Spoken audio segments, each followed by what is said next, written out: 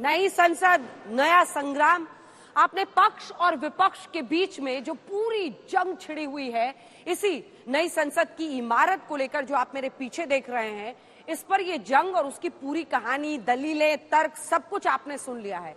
थोड़ी देर में हम आपको संसद के अंदर लेकर चलेंगे। अंदर की तस्वीरें आपको दिखाएँगे। लेकिन नई संसद के उद्घाटन समारोह को लेकर केंद्र सरकार और विपक्ष आखिर क्यों है आमने सामने?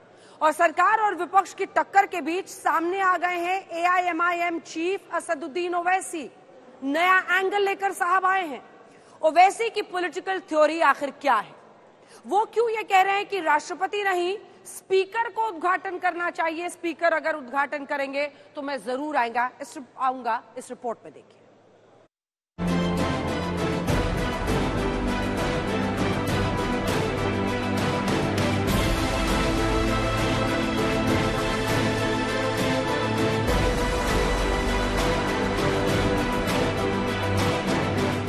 इसका इनॉग्रेशन प्रधानमंत्री को नहीं करना चाहिए, क्योंकि ये theory of separation of powers का वॉयलेशन है। लेजिस्लेचर इंडिपेंडेंट है पार्लियामेंट नई संसद पर सियासी कंट्रोवर्सी में यूँ असदुद्दीन ओवैसी की एंट्री बोले विपक्षी दलों का होमवर्क अधूरा है। नई संसद के उद्घाटन का अधिकार राष्ट्रपति या प्रधानमंत्री का नहीं, बल्कि लोकसभा स्पीकर का है। लिहाजा ओवैसी ने विपक्ष को लताड़ा और मोदी सरकार को ललकारा। स्पीकर कस्टोडियन है लोकसभा का, और स्पीकर को करना चाहिए। हम देश के वज़ीर आज़म से, प्रधानमंत्री से ये डिमांड करते हैं कि आप पीछे हट जाइए। आपका तो नाम आ जाएगा फाउंडेशन स्टोन में। इनॉग्रेशन स्पीकर ओम बिरला साहब करने दीजिए। और पूरी देश को मैसेज दीजिए कि आप theory of separation of powers को मानते हैं। आप संविधान को मानते हैं।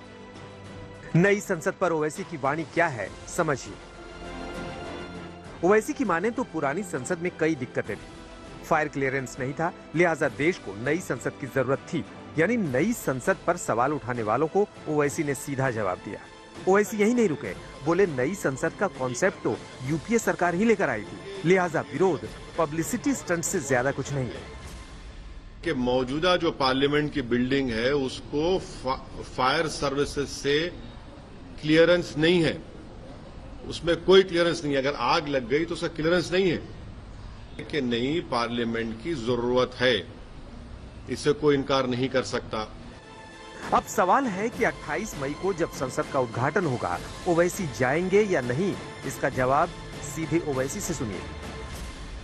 प्रधानमंत्री अगर राज़ी हो जाते हैं कि स्पीकर ओम बिरला इस कांग्रेस इनॉग्रेट करेंगे तो एमआईएम पार्टी उसमें, उस फ़ंक्शन में जाएगी। अगर प्रधानमंत्री ने बात को नहीं जाएगी तो हमारा मानना यह है कि प्रधानमंत्री एग्जीक्यूटिव के तौर पर वो theory of separation of powers को कमज़ोर करना चाहते हैं।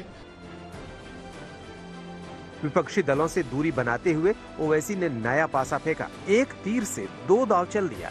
मतलब ये कि बाइकआउट भी कर दिया और विपक्षी दलों से दूरी भी बनाए रखी।